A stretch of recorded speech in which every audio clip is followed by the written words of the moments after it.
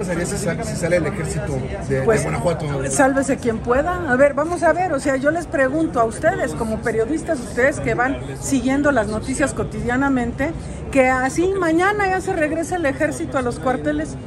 Y ahora sí, sálvese quien pueda, ahí nanita, ¿no?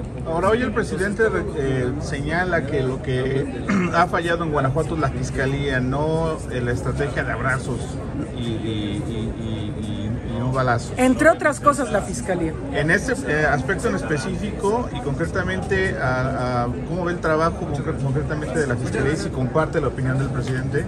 Por supuesto que la comparto y nosotros hemos alzado la voz muchas veces en ese sentido. Hemos ido a manifestarnos a la Fiscalía del Estado en las cuestiones de impunidad y de... eh, que cubren pues a, presuntos delincuentes en sus delitos cuando son influyentes, ¿no? Pero además es algo, no nada más que los de Morena decimos, sino la ciudadanía es un clamor popular, la gente de Guanajuato sabe del fiscal carnal, sea, es, una, es un repudio constante.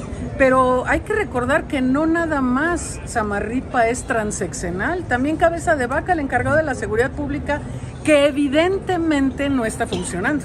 Es decir, es lo que dice el presidente. ¿Qué pasa si tú tienes una empresa y llevas, eh, ya no digas eh, 12, 13 años como llevan estos señores, sino lleva 5 años un personaje que tú le asignas una tarea y no da resultados, pues lo corres, ¿no?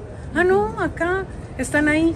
Y yo comparto también la opinión del presidente de la República que hoy dijo que tiene buena impresión del gobernador Diego Sinue.